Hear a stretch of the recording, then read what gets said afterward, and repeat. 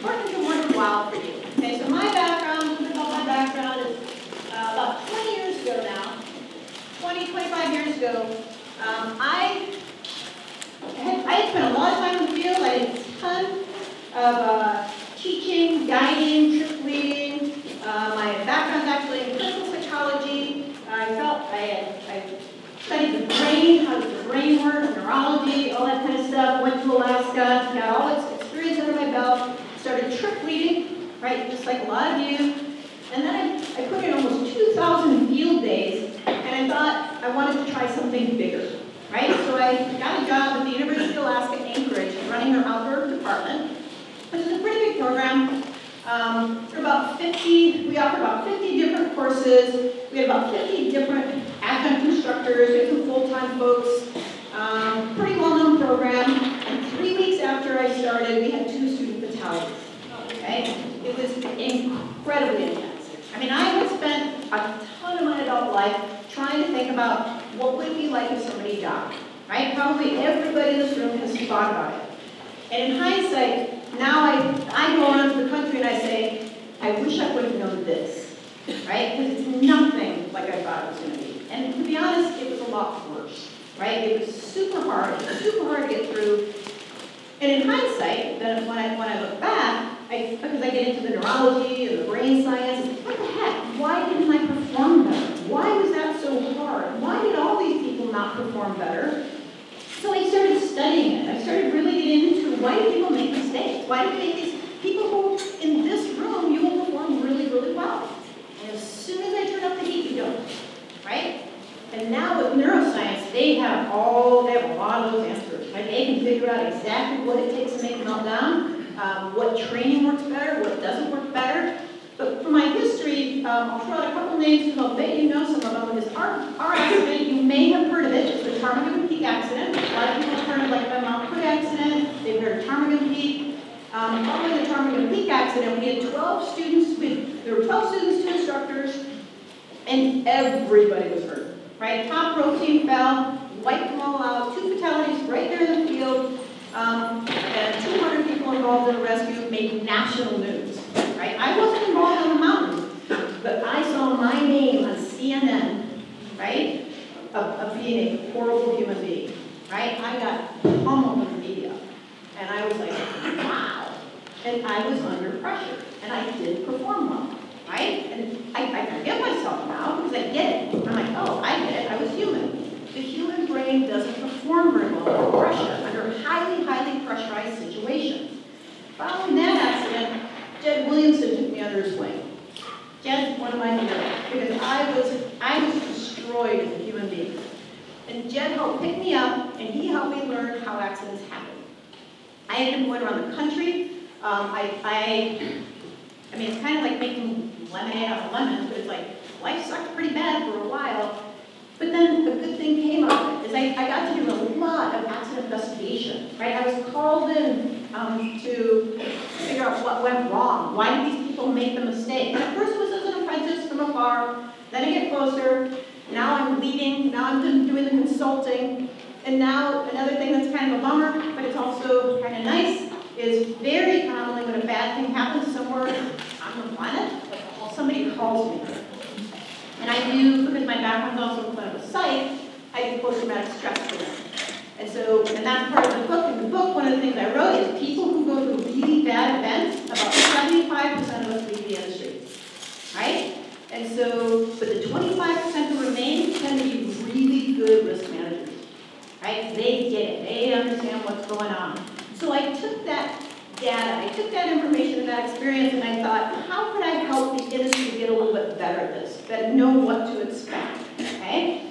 So that's part of the background. Another part of the background has to do with uh, the science of performing under pressure um, and, and the changes that have also been made just in not the outdoor industry, but in a variety of industries across the board.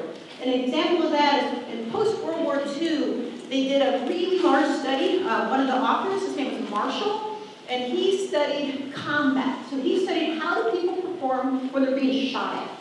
Right? So they said live fire combat. Uh, the folks in the trenches were getting shot at. He interviewed tens of thousands of American soldiers to see how did you perform. And his, uh, how many of you have ever heard of this study? Okay, do you guys remember what the results were? He said about 75% of people hid. They did not fire their weapons. They hid in the foxhole because they were too freaked out. And the American military destroyed his reputation because they didn't want that to get out there. But they said, wow, maybe he's onto something. And then they, they started looking at why did they perform so poorly. And so a couple of examples that they gave is they said, well, first of all, let's look at our training. They said, we shoot at targets in a grassy field. They said the, the soldiers were nothing like the targets, right? So it wasn't close to what they trained. They trained here, and they were expected to use it here, and it didn't work. So that, that started the American government to look into what's going on with the brain. They actually spent a whole bunch of time and money looking at this, and now through neuroscience, um, they, they've been able to apply that knowledge across the board with military, right? All military now does live fire training, right? They put you up into live fire training, the same with fire departments, with police departments, uh, with aviation industry, right? They do simulations because they realize that if we expect people to perform, perform really well, but we don't get them the specialized training, they almost always underperform. And I thought, shoot, that's kind of what we do. I mean, we cognitively talk about what we should do in an emergency, and there's some things to train pretty well with, but there are a lot of things we don't train very well with. And we expect people to perform well, and then when they underperform, we're kind of like, wow, I really thought Ambrose was better than that. You're humiliated, I'm humiliated, nobody talks about it, and then you end up with, um, you're depressed, right? And that's pretty common, really. So what I'd like to do tonight is talk a little bit about, here's what you can anticipate. Here's what tends to happen in the brain if you're in a really highly stressful situation. Here's what we can learn about it. Um, and then here's how you maybe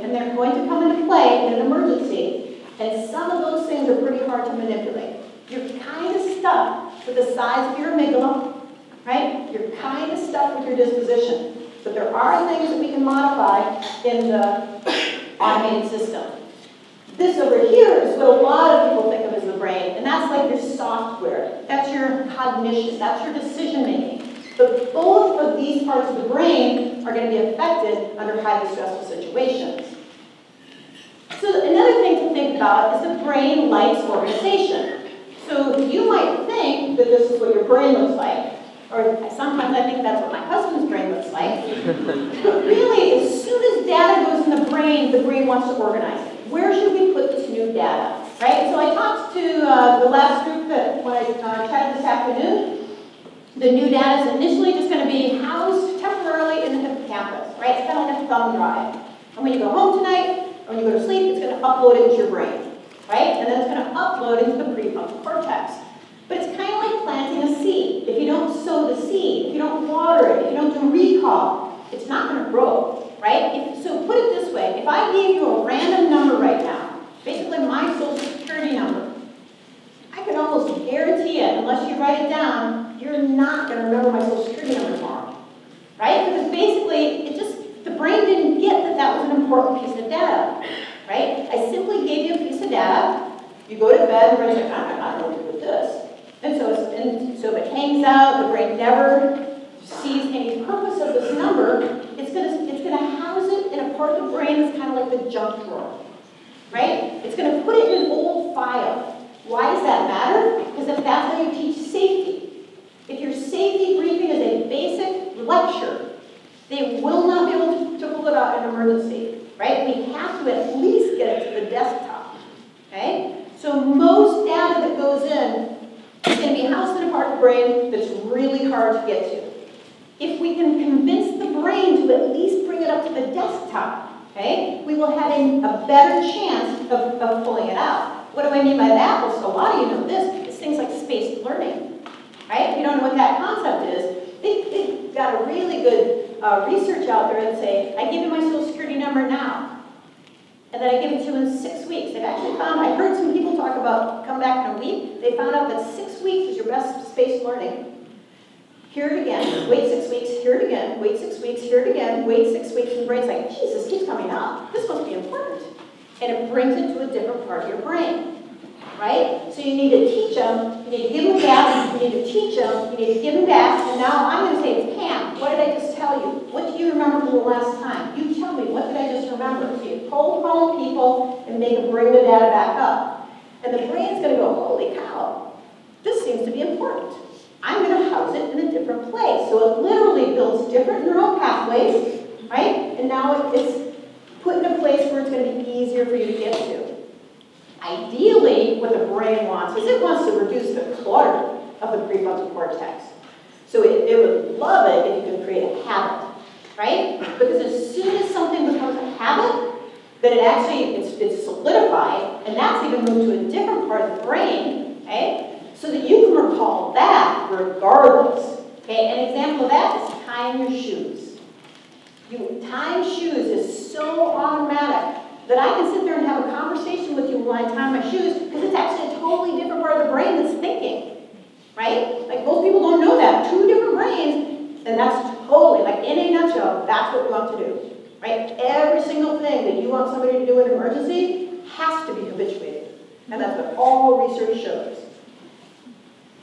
So this is a, the, the picture, the visual of the limbic system, which is your automated system, and the outer. And this makes it look like, um, well, it's basically the limbic system kind of like your fist, and then the cortex is like uh, the outer part of it. Okay? And then it's all housed in a pelican case. Right? So the jewel in the middle, the automated part of the brain, this thing right here, that's the most important because that's what it takes to live.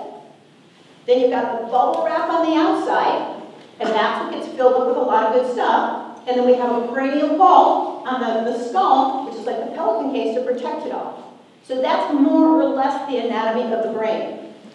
If we look deep inside, let's talk a little bit more about that limbic system. The limbic system, this is what, I'll you a picture. I don't know if you're able to see it in the back, but basically, the basic picture. About 50,000 years ago, We had that much brain, and we did that. We just didn't have a whole lot in the prefrontal cortex. And so in order for us to live, this is all, if you don't believe in evolution, then you're not going to buy this part of the talk. Because this is all about evolution. Is you know, 50,000 years ago, 100,000 years ago, we did not have a refined prefrontal cortex, and so the middle brain had to keep us alive. So it, we didn't have um, school shootings back then. We had predator-prey stuff, right? We basically had, we think about what threats go into the wilderness, right? What threats are exposed to in the wilderness? And then this middle part of the brain, super fast primitive, is kind of like a, a hyper car alarm. And so as soon as, even if I like maybe look at Ashton, and his amygdala like, and that's all it takes, right? So if we have data comes in that seems even a minor potential threat, the brain's going to stimulate by releasing a chemical. Mo most of the time, it's going to be uh, preceded by adrenaline. Like a lot of people know about adrenaline, right? So you're going to have this chemical that's released, and it's going to set you up in case there's an emergency. Some of it's super cool. So if we say right here, this is the chemical on guard, is if your body is on guard for the potential for predator-prey, we have immediately, so sometimes what I'll do is just to uh, give you an example, is I'll say, hi! And just by startling you, I'll bet some release adrenaline, right? Immediately, your pupils are, the lens opened up and dilated to bring in more input. You actually have instant ability to coagulate better in case that predator kills you or attacks you. You instantly have less blood flow in your skin, so that if I get ripped, I don't bleed to death. Super cool stuff. It's happening with that inside the brain. And as long as we leave it at that, life's cool. But if we let that limbic system get out of control, it's going to keep pumping those chemicals into the system, which is going to make the prefrontal cortex go down. Okay? So a couple things that are just more trivial pursuit but kind of fun is like this one right here, is the limbic system is incredibly good at memorizing patterns, right? That's a big part of what kept us alive through the years. Is that you need to know that when you ate that berry last time, you puked your guts out. Right? It's got to remember that kind of stuff. It's got to remember that that animal over there is different than that animal, and that animal will kill me. We, we use that data too. Okay? So an example, there's uh, some pretty cool experiments they've done. One had to do with uh, just playing cards, right? They do this in college. And they'll have like four, so they'll bring one person in the room, and they have four decks of playing cards, and they'll say, if you draw a nine, so you get $20 to start. If you draw a nine or higher, uh, you earn a dollar. Uh, sorry, you earn 50 cents, but if it's a eight or lower, you have to give me a dollar. Right, so basically you just draw out of the decks, and you're either going to make money or lose money. And you do that, and after about 30 draws, I think it is, the limbic system has already figured out the pattern, and it realizes that it's a rigged death. And you, if you got an MRI, it's like warning, warning, warning, warning, because it picked up the pattern. And it takes over 100 draws for the prefrontal cortex to figure it out. Okay? So the limbic system is really pretty smart, really good at that pattern recognition, and now we're learning how to tap that into things like it's usually what we call our gut feel. Right? It's like, well, yeah, you can call it your gut feel. It's because your limbic system stimulated something that gives you the willies. Right? So when you say, I just have this gut feel, I say, well, was that your amygdala you're feeling? Right? And that's really what's happening there. So you can learn how to tap into that. You can learn how to actually make better decisions.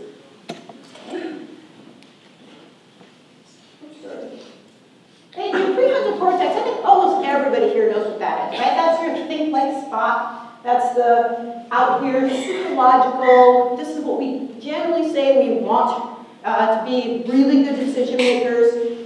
But the problem with this is that it's pretty fragile. It's kind of delicate, right? It's super fancy, uh, but it, we can actually um, create problems with it pretty quickly. So there are downsides to both too, right? So those are kind of the upsides. The downside is that when the prefrontal cortex is stressed, it's really similar to having a lot of applications open at the same time. There's just no way the brain can function as fast as it's supposed to or as fast as it can. So when you have a lot of stuff going on, I mean, study after study after study shows you, you just do not make decisions as well. Your, your prefrontal cortex just cannot work as well as it usually does when you're highly stimulated. Okay, so that's something we have to think about. This, uh, they talk about the multitasking, and that's, again, just continuous uh, research has shown under highly stressful situations, we're terrible at multitasking. They say, well, why do we care? Which I'm going to get some slides. It's like, well, for me, I do a lot of crisis response training, and it's like, you're in the middle of an emergency, patient care is one task. Bystander care is a totally different task. Calling your office with an emergency app would put the uh, requirement for a rescue totally different task. And if you expect one person to take on all those tasks, I can almost guarantee they will not perform very well. Okay? Because we have to make sure that we, we recognize the potential here that it's just things are not going to work really well. Your um, uh, lighted ones, these are the, go back to the uh, military trainings, there's a book on combat, and a guy interviewed all these police officers, folks who've been shot at, and all, it was like 94% of them said that they have abnormal distortion, or they have distortions in their cognition, distortions in the intake, meaning time went fast, time went slow. They didn't smell anything. They had no situational awareness. This is pretty common, you guys. I'm looking at a person with a broken leg, I didn't even notice the storm coming in right? I'm looking at this person with a broken leg, and this one's one that really happened. I don't even notice that three of the students went up the hill because they thought they could get a cell phone service up there. And finally, when I turn around and I look and I say, hey, where are these three? And they said, oh, they left about a half hour ago. And now you've got missing students. You're like, ooh, we don't want that. That's gonna, this is not gonna go well, right? And you don't notice, right? You have to anticipate Will get tunnel vision during that emergency. when the limbic system is overstimulated, right, when you have too much stuff going on and it feels overwhelmed, the primary uh, response is actually, well, I shouldn't put it that way. We have three, three pretty typical responses, okay? The one on the left is the one that a lot of people think about. They think about the panic, right? Tons of stimulation, and you're just super gripped, right? And you might do something highly unproductive, and that absolutely can happen, right? Another one, and this is actually evolutionarily um, sound, believe it or not, is if, go back 50, 100,000 years ago, and you're being attacked, sometimes it's like fighting. So this right here we usually say fight or flight okay, or faint, right? So basically, if I am being attacked and I realize I have limited options, the amygdala goes and it presses this button and it secretes acetylcholine, and instead of having my heart go, it goes, immediately drops my heart, takes my blood pressure and goes, and everything relaxes, including some of my sphincter muscles, so I might pee my pants, I might poop myself, I might vomit, and then I faint. And predators don't eat sick prey. So if you have ever seen like a tibia sticking out of the leg, and you faint because you don't like the sight of blood, it's just your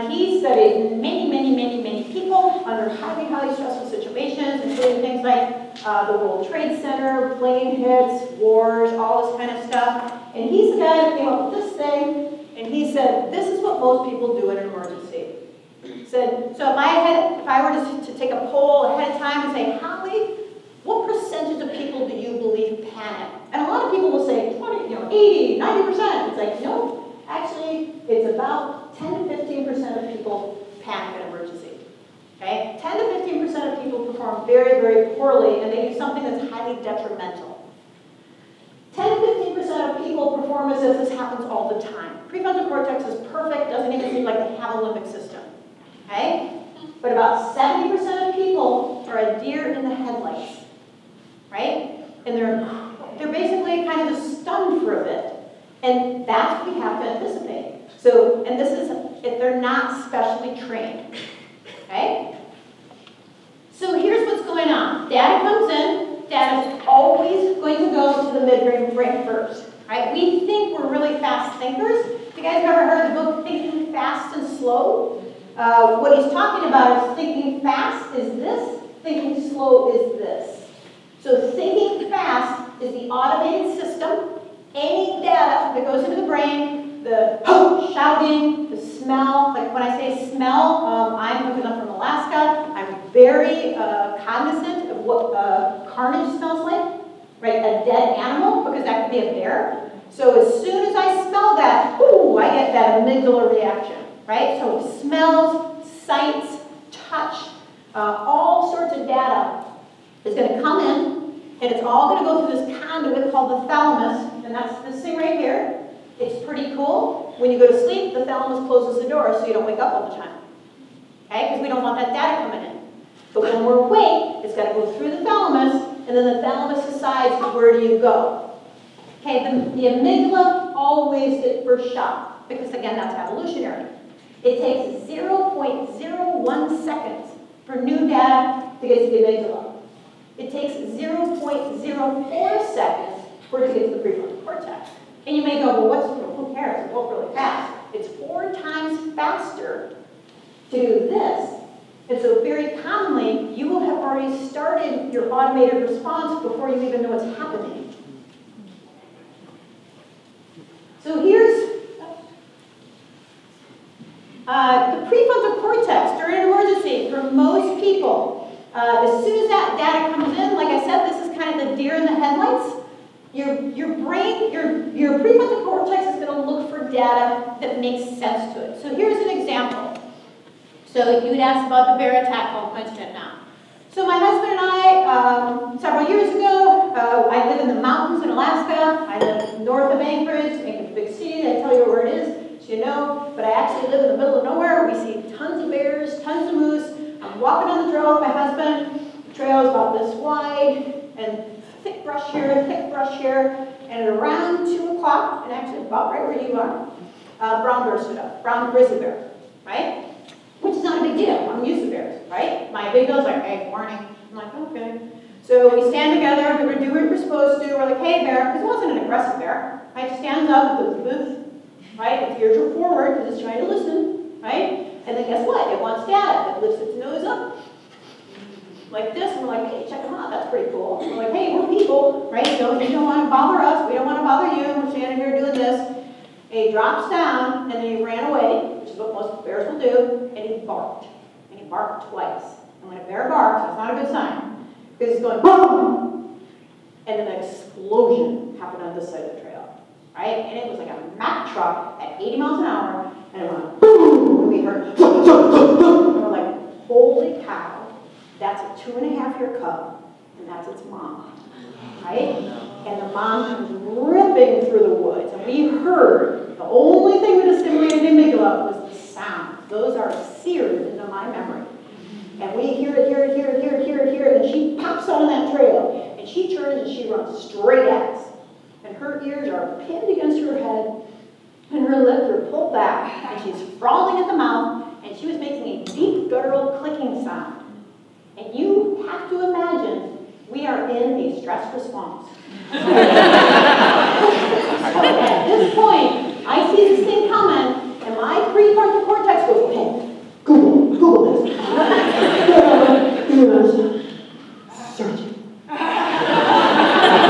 and basically that's is that you go into the search mode. So what we have to do in an emergency, okay, is we basically have to upload the brain before it hits. You have to give the brain at least a partial menu, right? Otherwise it doesn't know what to do and it's just going to sit there like this. And guess what happens? The limbic system is going to continue to kick out these chemicals and then you're going to basically, your cognition is going to keep dropping, okay? So during an emergency, um, overstimulated cognition is going to create some problems. Here's some heads up, you guys. This is stuff I never knew about, but now I know about. Your, your brain is loath to do new things. So if you think, for example, a person's kind of good with an inReach in this room, if you think they're going to be able to use that inReach in an emergency, you are wrong. Okay? Because it's going to take you, it's going to take prefrontal cortex. And the prefrontal cortex is like, no, I'm busy, man. I don't want that thing. Okay? So your going to, guess what? You're going to speak your native language. If you're a dual speaker, really good at both, you can probably do both. They have shown people in an emergency, let's say my first language is, Spanish. In an emergency, I'm speaking to you in Spanish, and I don't even know I'm speaking in Spanish. Right? They got it on videotape, and they say, you were speaking Spanish the whole time. No, I wasn't. Yeah, you were. Wow, I didn't even know. Because we will do our habits. Okay? So the second one here, we will avoid new and unfamiliar behaviors. If we if we're not, if that inReach or that sat phone or that self-arrest or if that bear spray is not absolutely habitual, I mean, if, if I said here, how many of you aren't good with bear spray? How many of you are not super competent with bear spray? If I said, here, take this right now, and I want you to stand up and show people how to use it, you get the willies. Right? As soon as I say, go ahead and use this, and you're like, oh, really?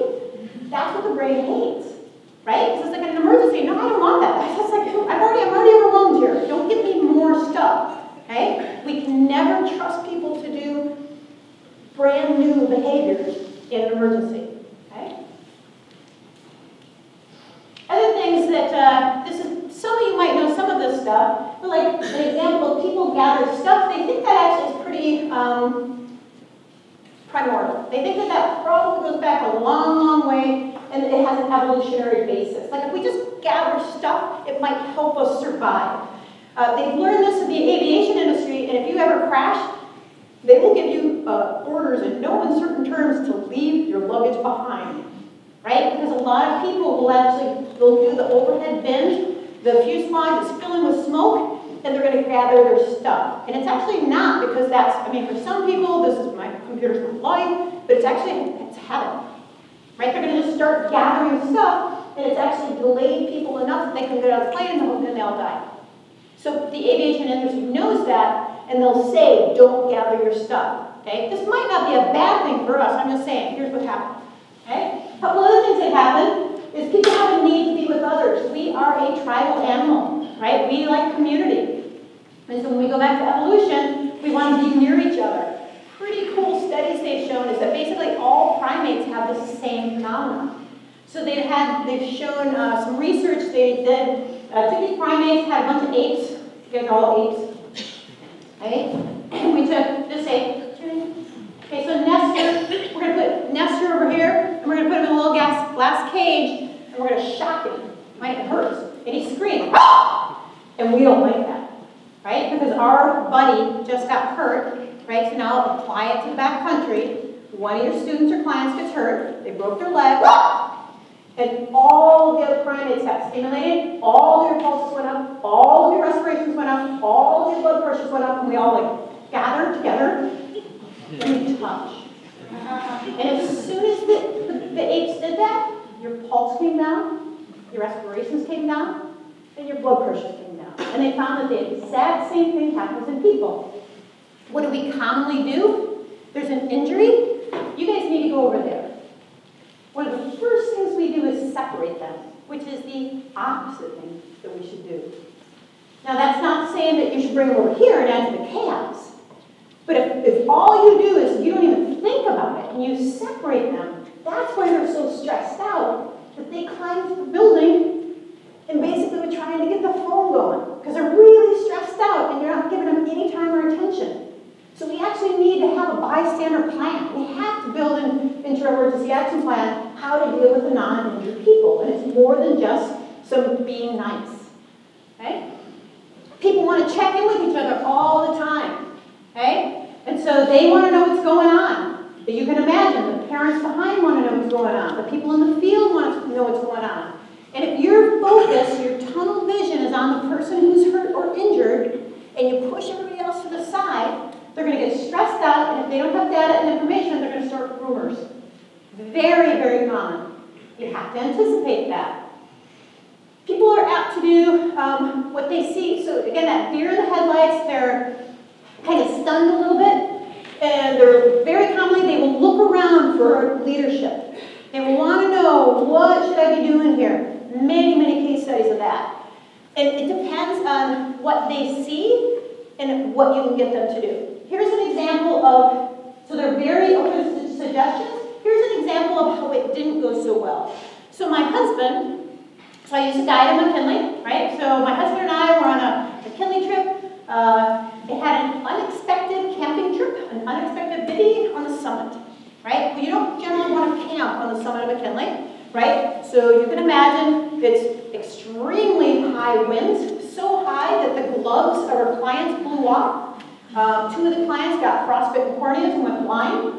Um, it was a super intense night in a snow cave to get through this thing.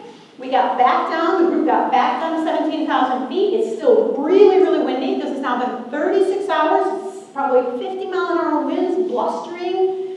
And so Blaine my husband, he gets a hold of Park Service and says, we're back. We made it to camp, we're all alive, there's a lot of frostbite, there's what's going down. And the Park Service, who wasn't on the mountain, said, you need to find some snowshoes.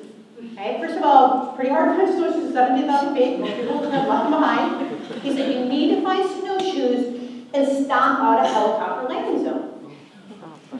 And Blake goes, okay. And he got, he went, and he went around, he passed a bunch of different camps, he finds some snowshoes, and now he's out there stomping in the storm. He's stomping down a, a platform, right? And it's, like I said, blustery, wind blowing. It's got to be a pretty big area. He's getting knocked down. He hasn't had anything to eat. He hasn't had anything to sleep. So he's really stressed out. And he was getting really bad advice. Because if you think about it, if you're at 17,000 feet at 50 mile an hour winds, there's no helicopter that's going to come up.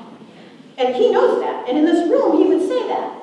But guess what he did? He said, okay. And he came back and he said, I can't do it. He said, I'm too tired. He said, I mean, I would trust my life to my husband. And he said, I've tried. I tried it for like an hour. I just can't do it. And I said, you must do it. And he said, okay. And he went out and did it again.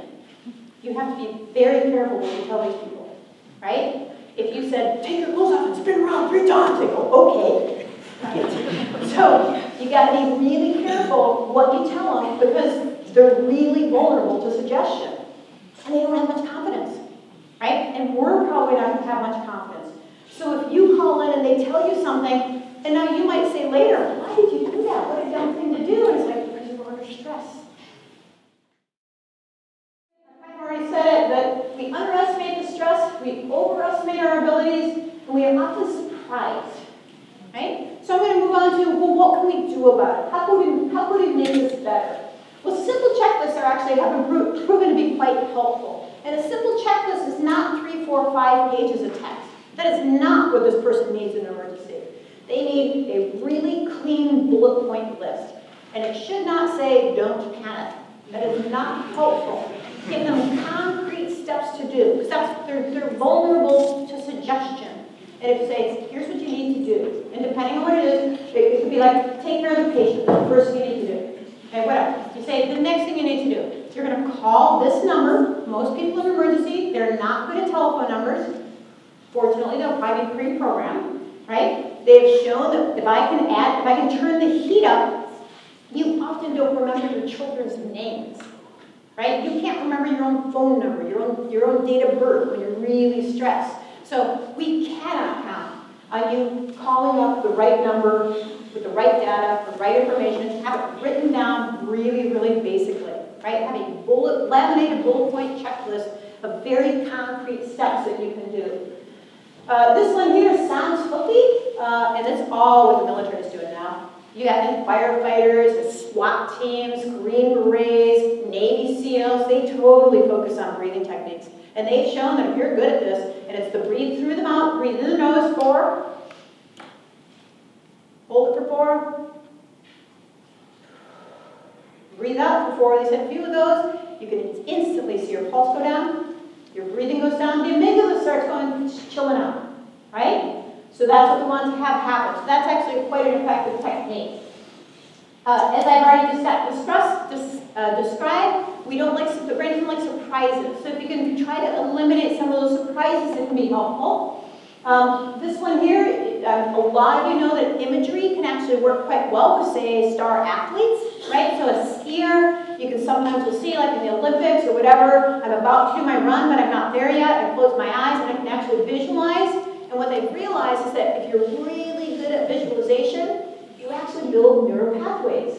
They put the, the MRI in the head, and they've shown that it lights up really similar to if you were doing it your exactly, um, you know, for real. Well, shoot, we can do this one. I mean, I'm just going to walk you through how do you how do you use that bear spray, right? Visualize using the bear spray. Got to do it first, right? Get that bear spray, pop the safety, spray it, remember what that felt like, and now visualize it really, really, really accurately again and again and again, and that's practice.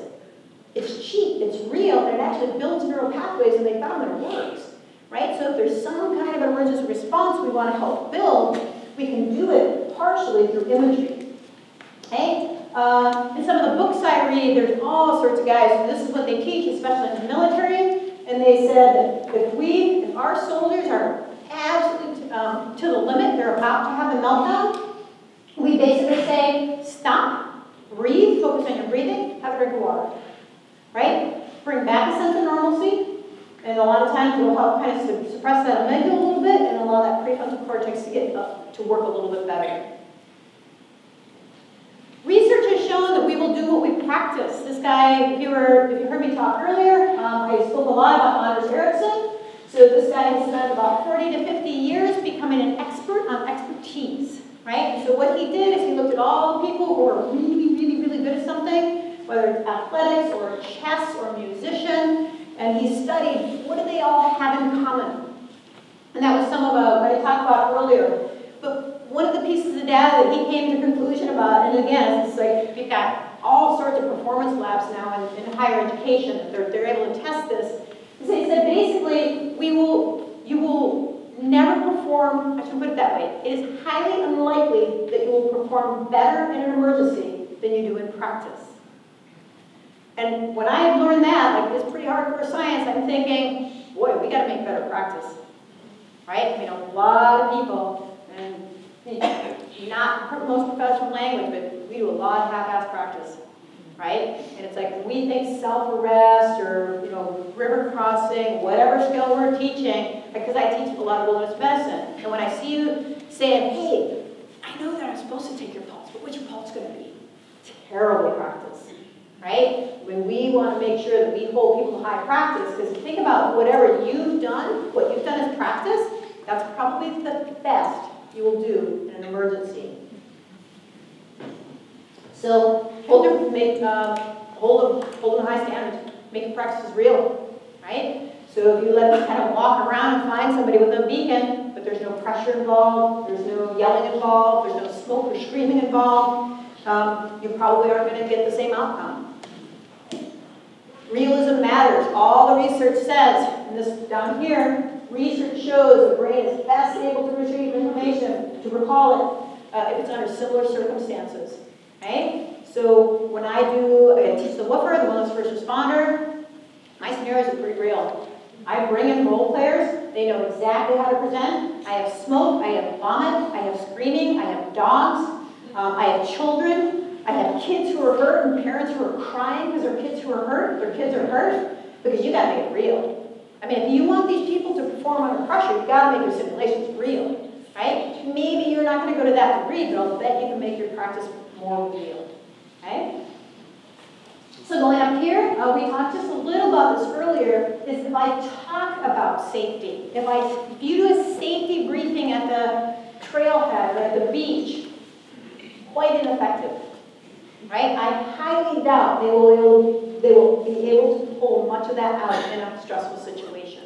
Talking's not a very effective method for that. Visuals are better. If I show you, if I show you how to use the bear spray, I show you how to use a sat phone, I show you how to use it in range, it's better, but better yet is that you need to do it yourself, right? And then if you talk about, or if you go back to my talk earlier, and you need to do it again and again and again, hopefully so it becomes a habit, because if it becomes a habit, then you'll probably be able to pull it out in an emergency. So if you're going to set up um, scenarios, if you're going to do some kind of scenarios with how you train folks, here are some things to consider. You can actually intentionally add stress. I do it all the time. so a lot of times, I look at this and I say, well, all right, performing a new skill adds stress, performing in front of others, being evaluated, surprises, awesome. Here's what I'm going to do in a, in a medical scenario. I'm going to, first of all, have a videotape because I'm going to evaluate you not only in front of you, but I'm going to do a big screen TV during our debrief and you know it's coming, right? And so I walk up to you and I say with the camera, say, tell me what's going on with your patient. And immediately you're boop, and you might lose deer in the headlights. No problem. I turn the camera off. Take a deep breath. Right? Breathe in, hold it, breathe out, get your cheat sheets out. I give you clues how to get better. I say, let's try it again. I do it again, bring that camera up. And I, if I have to, turn it off again, and then I do it again, and now I'm going to quiz you under pressure, and then we're going to watch it later, and we're going to get a debrief, and I'm going to give you feedback. Okay? I'll bet you can do it. Which, if you were at my talk earlier, um, one of the things that all data is showing is we're trying to teach way too much in a little bitty amount of time. Right? Because we and they just don't remember it. It's like, no, no, you got to figure out what's the need to know, get rid of the fluff, focus on the need to know, and teach better that stuff. Okay? And if it's very, if it has to do with emergency, I would say teach it until they're pretty good at it. If you, if you think they're gonna perform well, you'll probably be surprised. Uh, you can add, so things like this, a surprise might be, um, I have an unconscious patient, you approach the patient, and when he wakes up, he is not speaking English. Okay, and you're surprised, and immediately, I mean, all you're going to do is watch it. I mean, they're stressed out anyways, and as soon as he's not speaking English, you're gonna see probably a deer in the headlights. Right? That's okay, that's what we're trying to do. It's kind of like public speaking. Like some of you don't like to public speak. That's actually, they said for most adults, that's the number one fear. Okay? So a lot of you probably would vomit if you were standing up here on stage. Right? Because there's just this this would be too stressful. Well, we just work up to it.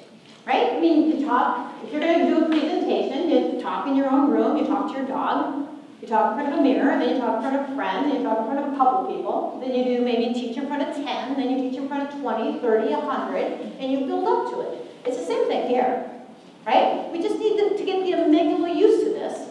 Because public speaking is the same thing. The amygdala simply stimulates and it makes you uncomfortable. And so now you get to the point where, like, I'm not nervous right now. 20 years ago, standing in front of this audience, I would have been nervous. But now my amygdala is used to it. You must get your amygdala used to it.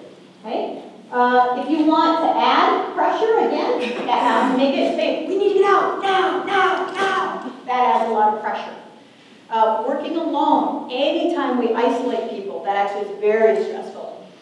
And so if you are working all by yourself over here, I can assume if I'm like a trip leader or whatever and I see you, I'll bet you're pretty stressed, and I recognize that. I might come over, I might touch you. As soon as I touch you, um, I give you a calm response. Actually, I'll give the rest of that story. So the thing with, because I'm like, I kind of let to hang with the bear. Yeah. Um, so I'll come back. We probably have a lot of these things on that, right? So um, my husband, he probably died, but I'm going to tell you this. Uh, my husband almost ran. You know, and like my husband and I both teach bear safety.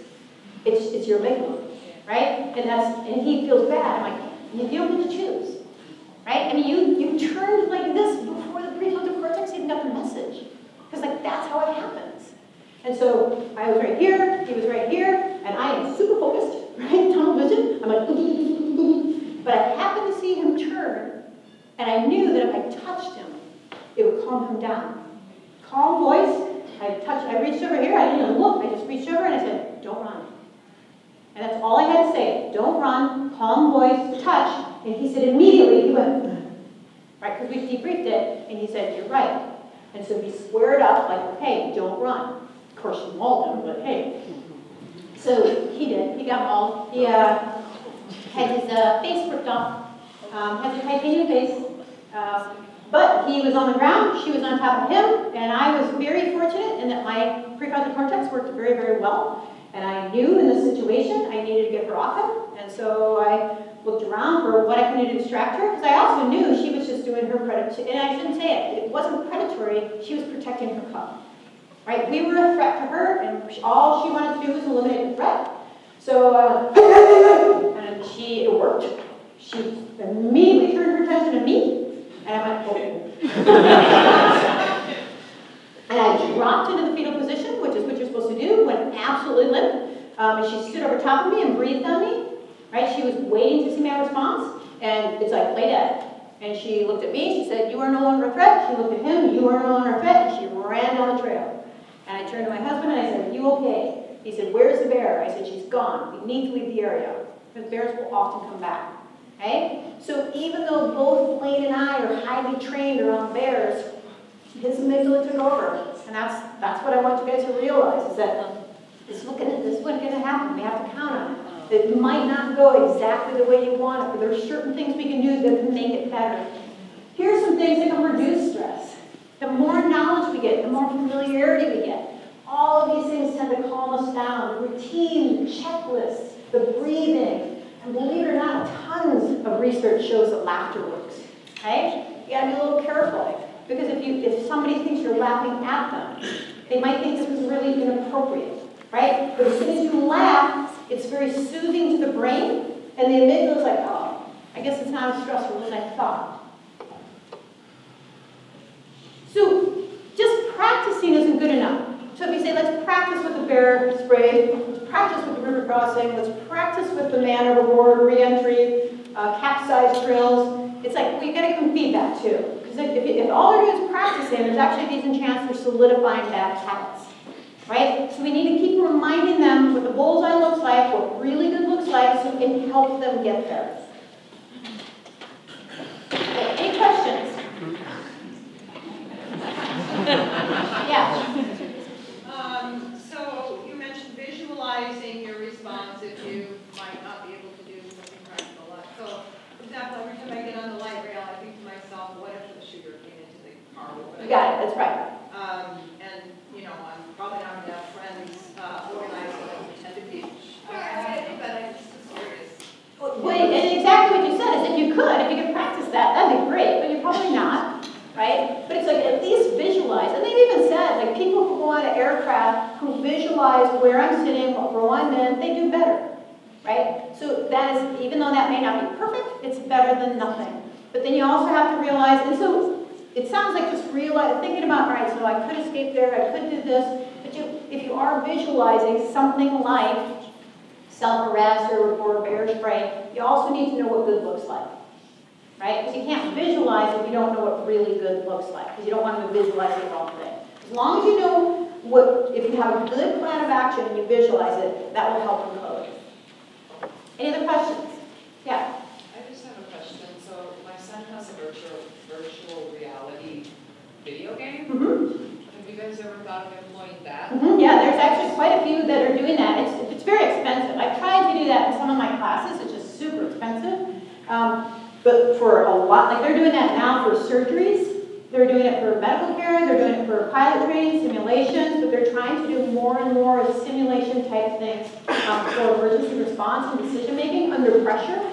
It's just like I said, I mean, I don't have the computer skills to do some of that stuff, and so to bring somebody in and hire them, because I've looked at various ways to do that, and the cheapest uh, one was like ten thousand bucks.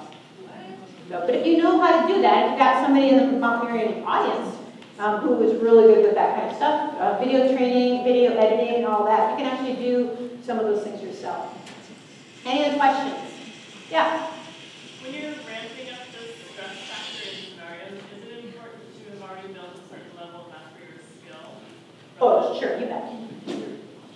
Oh, I'm sorry. So she said, if you, uh, so go ahead, could you say it louder? She has to just re- repeat the question. Yeah.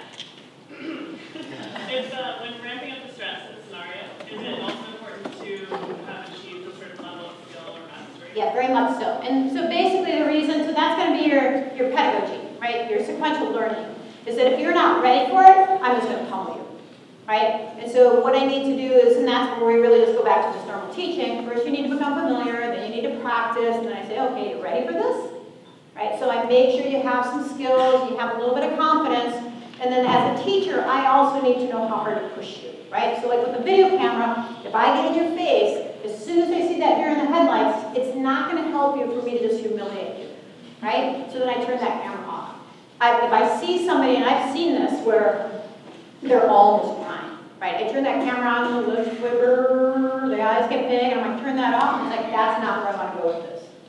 So then I say, all right, just, so let's, I'm just going to put the camera away, and let's just do it without the camera right? And so because I'm really good at what stresses us out and what does, what makes us feel better, I will just take those tools as I need to.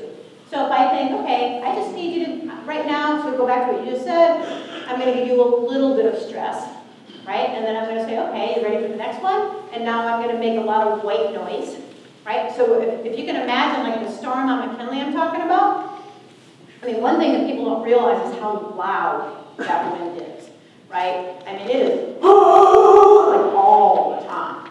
And so I say to Ambrose, I get into his ear, I think we need to bivvy. And he says, what? so when it's, I mean, add noise, add noise to scenarios, highly stressful, right? And so just, you do a little bit, you do a little more. So I actually, one of the things I do for even a WFR scenarios, I do, I mean, a lot of guys have had the WFR, but I'll do a car accident the radio's blaring, the person's leaning over the horn, ah! there's smoke coming out of the hood. Again, I'm adding as many stressors as I can, depending on where you are in your training. If you're not quite ready for it, then I'm just going to. Yeah. I think in that book, it's on combat, is that, Mhm, Yes, I think that he, he mentions that as uh, uh, stress inoculation. yes, that's exactly what it is, yep. And so speaking of, here are the references, and you guys can have this slideshow. Um, I don't know if, uh, if there's any way I might just give it to the Mountaineers, but you guys are more than welcome to have this, use it. But these are pretty good, and these are quite good. So, and I got, so I'll go back to, this is the John Leach I talked about. He's the guy that came up with the bell curve. Uh, he's the Brit. It's pretty dry, a little hard to get a hold of, but it's still a good book. Um, this is actually very, it's well written and fascinating. She's simply a writer. She's a writer who does scientific stuff, and she's taken, I don't know, maybe 10 case studies. There was a, a good one was in uh, Cincinnati. Uh, it was a restaurant lounge fire, and I don't know if you guys have heard about that, but there were like, I don't know, a couple hundred people, 150 people who died. Super wild, because it was kind of like this, and there's a, a, let's say up here, there's basically a stage, and musicians are playing, and the, the thing behind them started on fire, and they didn't leave. And this kid, this like 18-year-old bus busboy, he's like, oh, this is weird. And he's like, they're just sitting there, and there's a fire. And he said, I think we should leave. And they just looked at him, and they kept eating. They had, like, there were people burned sitting at their table. Yeah.